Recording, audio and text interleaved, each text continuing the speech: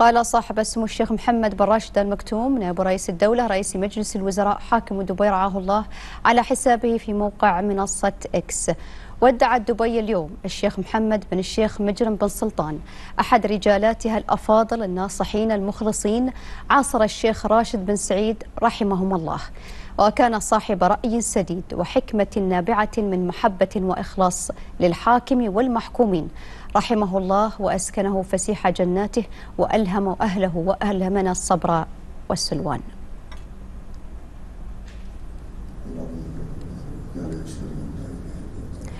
هذا وقد شيع الآلاف من المصلين من المواطنين والمقيمين المغفور له بإذن الله تعالى الشيخ محمد بن الشيخ مجرم بن سلطان إلى مثواه الأخير عقب صلاة الظهر اليوم في مسجد ند الشبه.